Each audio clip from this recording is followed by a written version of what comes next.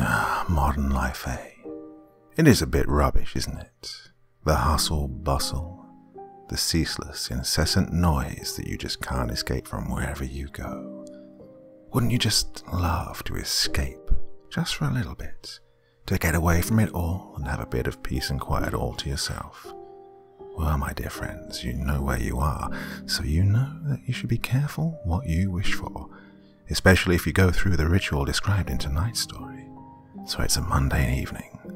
Well, my dear friends, another one from Dr. Creepen's Vault, and we're all set for the week. And I think you deserve to sit back and relax with your favorite drink and listen.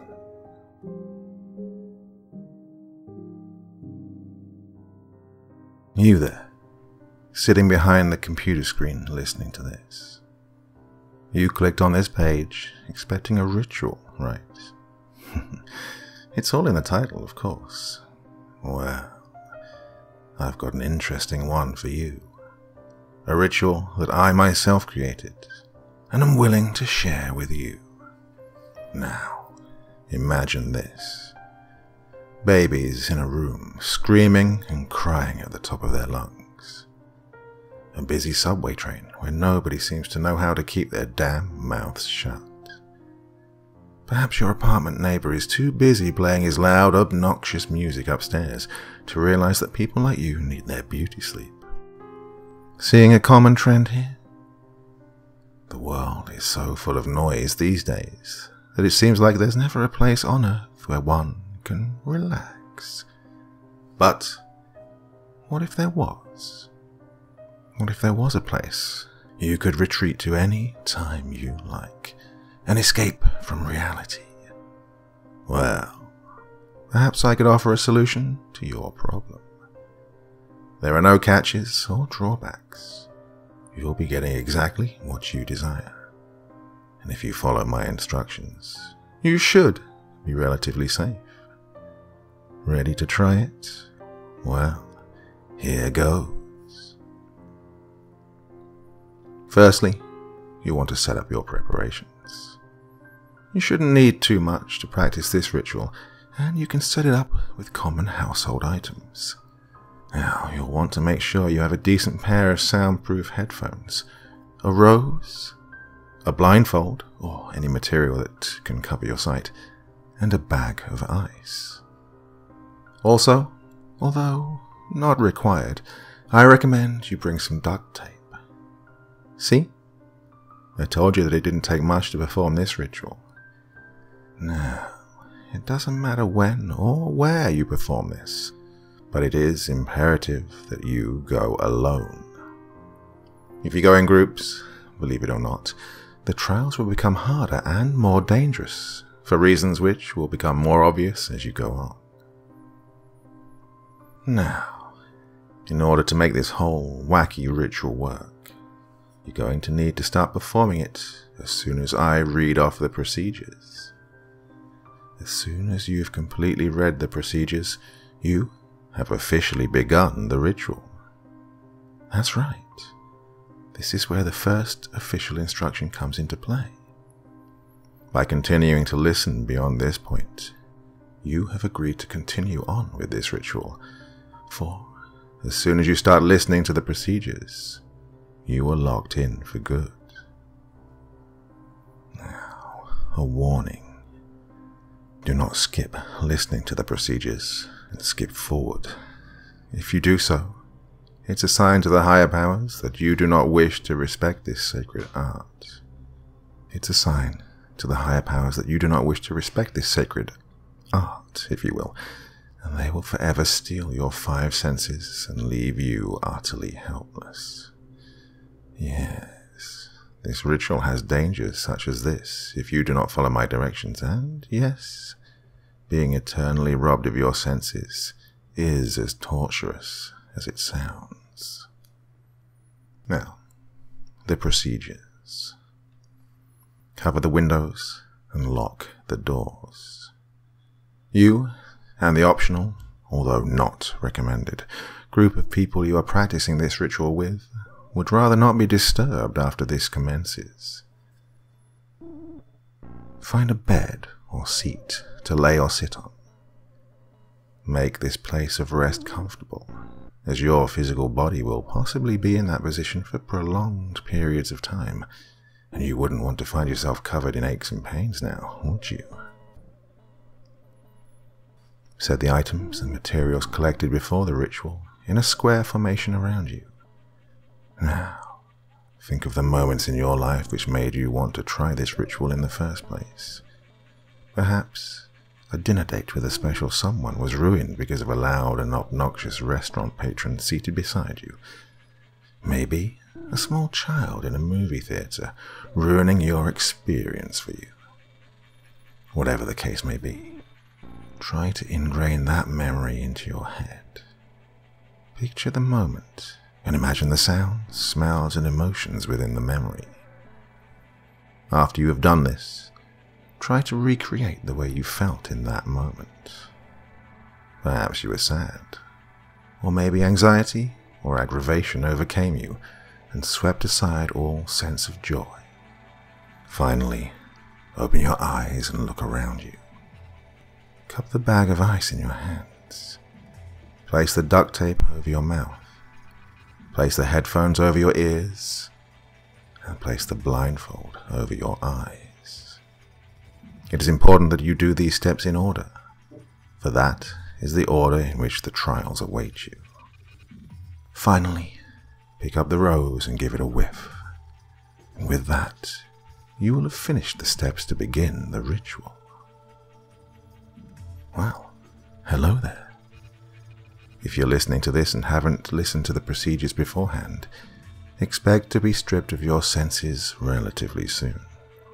I'd hate to be blunt, but I did warn you about what would happen should you disrespect this ritual and proceed without listening through it properly. Should it be due to you not heeding my warning, or simply you not caring about your life in general, it is your decision that brought you here. However, if you broke the rules, you might as well use what time you have left of your sight and sanity to find out what else this ritual has to behold. Now, if you did follow my instructions, then congratulations. You have now officially begun the ritual. Although these words are still in front of you, on whatever device or pamphlet you used before, they are also being transcribed into your mind by me. By following through with the ritual, you have allowed me into your mind. And now I shall be your official guide through this journey. A Jiminy Cricket of sorts except for the fact that if you don't follow my instructions verbatim, the worst fate you'll encounter won't just be making a literal ass of yourself. Now, look around you. When you put on the blindfolds, you lost your ability to see, and your perception of the world got dark. But you can tell that what you're seeing isn't the same darkness as the blinding material covering your eyes, can't you? Go ahead and reach out into the darkness before you. Reach straight ahead and feel along the surface you just touched. When you feel the switch, go ahead and give it a flick upward. There, that's better. The light above you should have lit up. Now, please ignore the flickering of the light. There aren't exactly the best technicians in this new reality you've entered. Welcome to the place where senses make no sense. A place somewhere between your subconsciousness and whatever different dimensions exist. Now, approach the far right corner of the wall. See the skeleton over there? See its hollowed bones and the black mucus dripping down from its ribcage. Go ahead and reach inside its jaw. You may have to pry its mouth open a bit, but due to the decay of the bone, it should be easy to crack it open. Go on. It's not like a dead man can feel pain. Now, do you see the key inside of its mouth?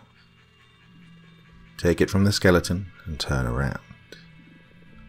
There before you should be a door that wasn't there before. If you want to enter it, put the key into the keyhole and turn the doorknob. You are now unlocking the full extent of this new world where you currently reside. Step through the doorway with caution. You are about to start the first trial. You've now stepped through the doorway, and I bet you can't figure out what your first trial is. Well, not at first, anyway. Here, I'll give you a hint. Pinch your arm as hard as you can. No, really, pinch it with the intent to inflict pain upon yourself. You can't, can you? Your sense of pain and touch has been retracted. The room you're in should be fairly well lit. In fact, the setting should look fairly familiar to you. Most people either describe the setting as a school hallway of sorts, while others usually see a psychiatric ward or a corridor. In all honesty, I personally don't consider the setting to be of much importance. Now, what may be important to you is what you're hearing right now. Do you hear it? It may seem faint at first, but surely you can hear it becoming louder ever so slowly. I can assure you that the moist gurgling sounds and the scraping of feet coming towards you is not just all in your imagination. Down the dark hall, you'll surely be putting all of your attention. What you'll surely be putting all of your attention to now is beholding a creature that has come for you. I can sense your heart is racing, and you have two choices. You can run in the opposite direction, or you can stand there and stare at your impending doom in the face. I do recommend the first option, because only a fool would stick around to see the monstrosity coming for him.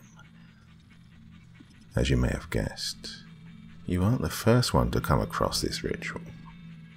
There have been others, and they desired the same as you a place of silence, a resort of quietness where one can escape to for peace.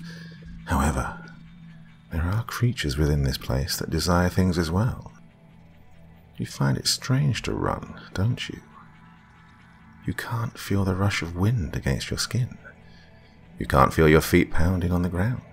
It's like you're weightless here. It's almost as if you don't physically exist. Hmm, I wouldn't recommend stopping because of this, though. Letting that thing catch you could cost you an arm and a leg, give or take some extra skin. And Lord knows that thing could use those. You should be coming across the end of the hall by this point. Do you see the three doors? Rush to them and try to open them no matter which door you try to open first. It will be the last door you attempt to open, which will be the one unlocked. Go ahead. Try to get out before that thing catches up to you. Oh, and I should mention the door handles are molten hot. It's a good thing that you can't feel the searing hot pain course through your body. But I'm sure you can see your skin begin to melt and the bubbles begin to rise and pop on your hand and arm with each grip to the doorknob. it's funny, isn't it? That you should be rolling on the floor right now, crying in pain as the melted and charred skin burns like hellfire, tearing your flesh and tissue apart. But no, you just opened the last door and passed the first trial. Congratulations. That wasn't so hard, was it? Now, do you see the room around you? Another small room with a flickering light in it. But in the center of the room is a glass panel. And below that glass panel seems to be a pit of darkness with no end to it. Just the type of eternal pit of misery and despair that one would want to dive into, right? Well, I don't see you having much choice considering that door won't be able to keep the monster out for long. Oh. You thought he was a one time deal? I'm afraid not. There should be a grey sledgehammer in one of those corners of the room. There, the left corner, behind you. Pick it up and smash the glass floor. I suggest you hurry. I'm sure I'm not the only one who can hear those long talons scratching at the door. There, one last hit, and then you plummet below. Ready? Now, jump. Oh, what? You thought I would deprive you of your sense of touch for this whole time? no, I'm not that humane. Yes, I see you clutching your arm in pain as the sensation of hot iron rods pierce your flesh. Still, there's no time to sit and sob. Stand up and look around. Everything seems normal, right? You're now in a plain, open field.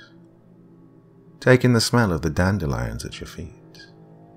Listen as the birds chirp and feel the wet grass underneath your toes. Now, look up at the sky. Enjoy the blue skies and fluffy white clouds above you, because that paradise will be short lived. Look again. No fields, no dandelions, and no blue skies. Just you inside of a cold, damp stone room. Puddles of filthy mud and water randomly sprinkled about. And in the center of that room is a peculiar table with a plate on it. Approach it. Go on, the plate won't bite. No, you'll be doing all the biting here. Look down at the plate. Hmm, look at all those slimy, wriggling worms. Look at the twitching moths and maggots squirming about and writhing in a crazy fashion. Do you see them? They're in pain. They're dying a slow, painful death. I understand fully that these beings are considered below you, but you surely must have sympathy for these living, breathing creatures. Go on, put them out of their misery. Kill them. No, no, don't smash them. That would be a complete waste of the resource, wouldn't it? No. You see, your energy drains quickly in this land. And here, you need all the energy you can get. Go on. Swallow them. Why are you so hesitant? It's not like you'll be able to taste them. Go ahead and consume. You know you want to. Don't you feel the empty pit in your stomach? How unsatisfied and unsaturated you feel? Go on, chew. Do you feel those grimy, filthy creatures wriggling within your mouth? Their smooth skin rubbing against your gums? You can feel them struggling, but ultimately being broken to bits as they run down your throat and into your stomach. Yes, feel yourself being replenished. Oh, what's this? You still have half your plate full, but you won't continue. Fine. But you need your energy, you know. I can make the pain in your arm worse. I can burn you beyond belief and beyond disrepair should you make me. No, I don't think you want that, do you? Go ahead, slide the rest into your mouth. Let them travel down your esophagus. There. Don't you feel better? Good. Now, we can continue. Look to your right. You see the zipper on the floor? Go ahead and unzip it. Yes, unzip the floor. Now, climb into the hole you just unzipped. Oh, you don't want to? Well, I'm sure your nasty little stalker friend, who, may I add, is coming ever nearer to you as we speak, will be happy to help encourage you. Hey, you there. Not, not the fellow performing the ritual. I mean you, the one who didn't follow through with the procedures.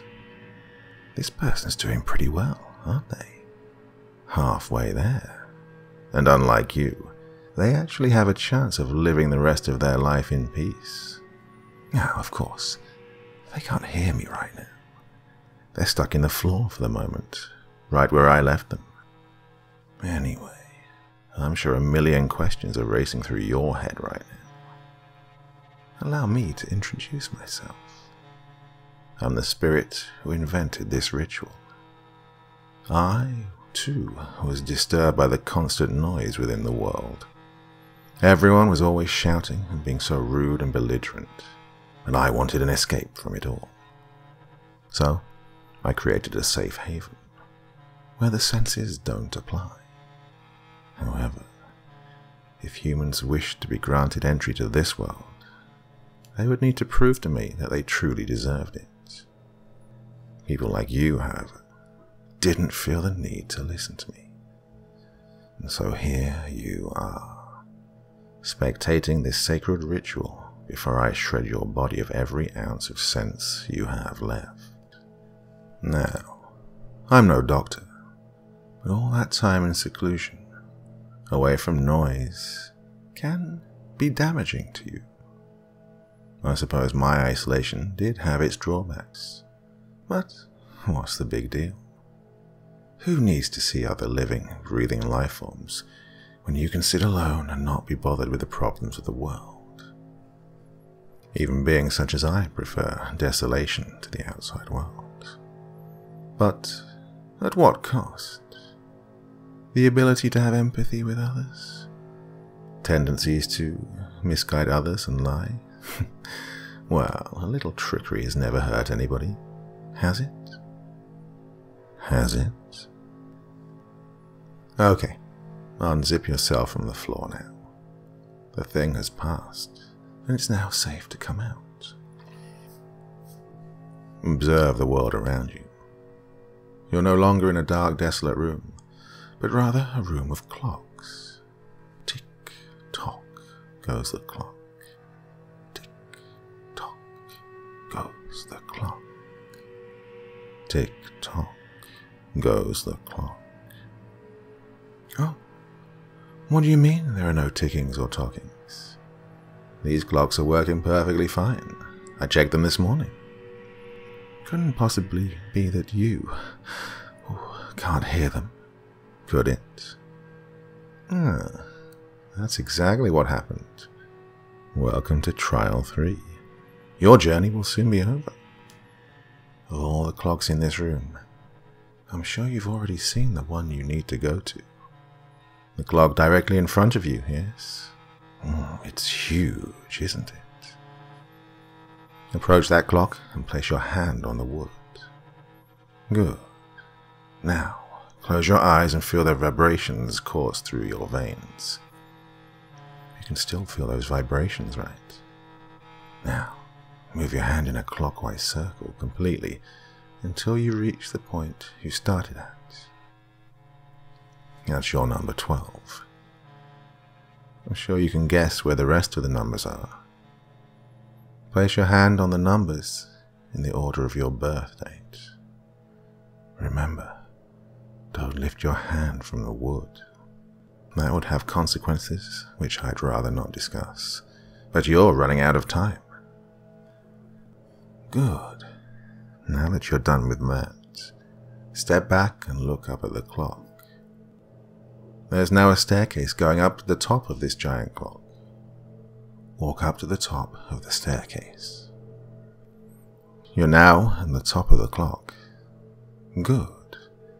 Now look down at all the other smaller, lesser clocks. Feel the vibrations of the entire room. Feel them run through your body. Now close your eyes and don't you dare open them.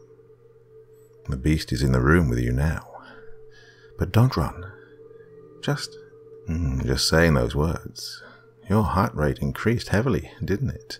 Well, you're going to have to settle down, because this next step, in particular, is tricky. Keep focusing on those vibrations. Do you feel the rhythm? The pattern in which the clocks tick and talk? Try to match your breathing and heart rate to that of the vibrations. If you can do this, you'll be invisible to the creature. Now, this is not the time to ask me why I didn't tell you before that the beast wasn't able to see you. Calm your breathing and go to the beat of the clock. The creature stalking you isn't one simply interested in murdering you. No, it has an actual plan. You see, in this sensory deprived place, the beast has only one of its senses, and that sense is hearing. Its hearing is so precise that it can distinguish between your breathing and the sound of the clock's ticking. You came here because you wanted a place where sound doesn't exist. Well, the creature wants you, so it can steal your senses. Senses which it has been deprived of for quite some time. Ah, now you have completed the third stage. What I want you to do is jump off of the clock you're currently standing on. Yes, I see that it's high above the ground. I still want you to jump. Would I ever lie to you? of course not. When have I ever lied to you so far? This jump will lead you directly to your fourth trial. You're nearly there. Don't quit now. Besides, I'm sure the monster would love for me to tell it where you are. I hope that's enough of an incentive for you. Good. Now, jump. Well, what do you think would happen upon jumping? Did you fall to the ground? Of course you did. That's how gravity works. Granted, this was mostly for my enjoyment, but I'm not sure what else you expected. Have a look around you. Is the landscape different again this time? Oh, wait, you can't see. You've gone blind, haven't you? Well, you, my friend, are inside a system of tunnels and trails. The walls aren't too far apart, so you should be able to extend your arms and touch them. Feel that nice mossy texture? Hmm. Now, walk forward and guide yourself with your arms. What you need to do is find the exit to this maze. Continue walking forward until you feel the bump in the wall. Feel it? Grasp the bump and pull it downward. Congratulations. You just pulled a trap. Traps aren't good here, so I suggest you don't pull any more of them. Now, do you feel the sharp, searing pain digging into the meat of your leg? That's the trap at work. You wouldn't want to be caught in a trap, because, as you can see, the blades are twisting and turning, pulping your skin and muscle tissue. Now, Grab the walls and pull yourself out. Oh boy, it's a good thing you can't see your leg right now. Your skin is completely shredded below the thigh. I'm surprised you're angry with me. You should have expected to make sacrifices. I can't just give gifts away for free now, can I? Now, keep walking before I activate a few more traps for you on my own accord. You know, you're lucky a being such as I would even consider giving you a gift such as this. Keep moving forward. You're almost done. Reach forward and grab the door handle. Pull it open and walk through. Your sight should be back now. You should be standing in a room similar to the one you started in. There's the flickering lights and everything. Congratulations on passing the ritual. You have proven to me that you are truly deserving of your haven without sound. Now, stand still as I explain to you what this prize means. You've gone through the four trials of this ritual, and through them all, you've proven to me you are capable of triumphing over the challenges. Don't mind the sensation of your skin sizzling. Those boiling bubbles are back, and not just on your hands and arms but on your face, your legs, and your torso as well. I know you're in pain now, but believe me, you'll be utterly joyous when this is over. Can you feel the heat melting your nose away, leaving it just a charred blotch of burnt flesh? Feel your eyes disintegrate within seconds as the heat intensifies. You can even feel it inside your mouth, can't you? Burning the roof of your mouth and your tongue. I know you can't hear me right now. The pain you're under is probably too great to bear. But trust me, I'm fulfilling my promise to you, aren't I? By now, the only remnants of your previous self is your ears. Ironic, isn't it? That you wanted to lose your hearing, yet it's the only sense you shall retain. Don't worry though, there aren't many causes of noise here, where you'll be staying. However, I can hear based upon the desperate, drowned out gurgles of agony escaping from what was once your lips, that this outcome may not suit you well. you should have wanted this, so I'm confused as to why. However, I'm sure that you'll enjoy this silence and solitude eventually. It worked wonders for me. However, if you want your old form back, I recommend finding the next person who performs this ritual and stealing their senses too. Don't worry about finding them. Your hearing will be precise enough.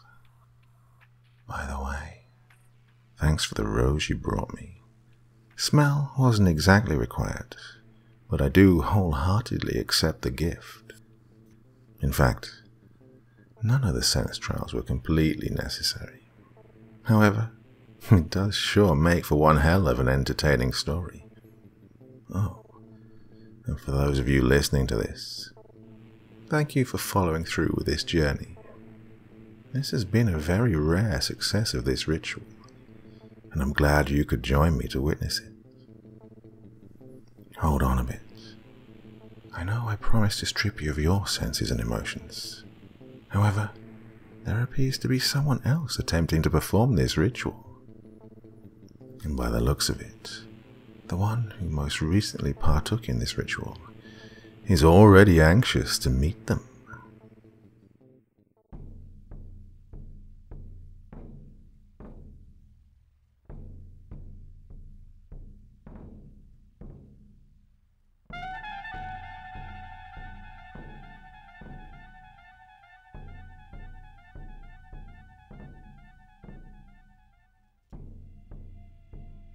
These ritual pastas. I know, I know, I know. Who would ever go for such a thing?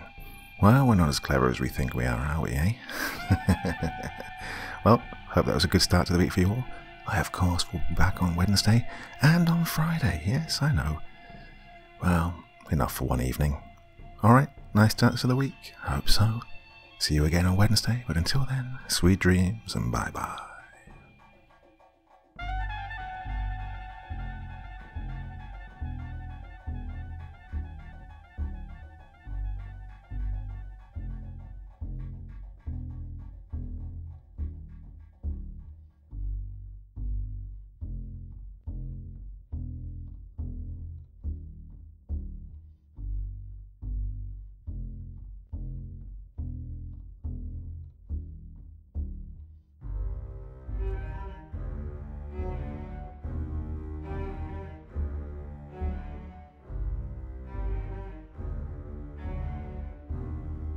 Thank you so much for choosing to spend your time listening to me. Now, if you enjoyed the Dr. Creepen experience, then come find me on Facebook. Come chat with me on Twitter. Listen to the background music and download it if you like on SoundCloud. Drop by the store, pick up a t shirt. And, importantly, if you've got a story you'd like me to read, send it to Dr. Creepen's Vault, the subreddit I set up so that I could read your stories.